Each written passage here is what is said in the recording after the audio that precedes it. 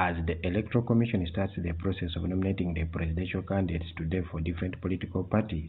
Here in Kibuku, the NRM flag bearers led by the State Minister for Local Government, Jennifer Namiyango, who is also the Kibukuman MP, and Herbert Kinovere, the Kibuku County MP, have launched what they named Kibuku Youth Brigade that is going to campaign door to door for the president and all NRM flag bearers in the district.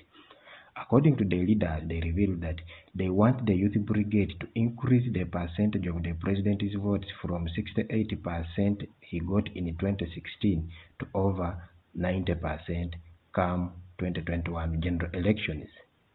They added that since they have brought these youth on board, they are going to mobilize them, speak for all the government projects that the government has implemented in the districts like roads, markets, and youth projects.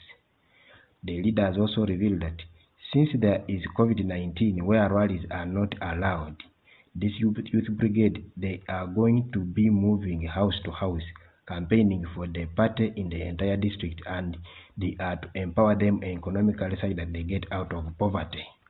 According to some of the youth that we talked to after the launch, they revealed that previously their leaders were leaving them out of the campaign programs. But since they have been brought on board now, they are ready and they are going to mobilize door to door all categories of people, men, women, and their fellow youth to vote for the NRM come 2021 elections.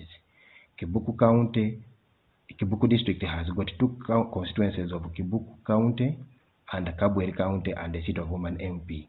For NTV, I'm David Wandeka in Kibuku.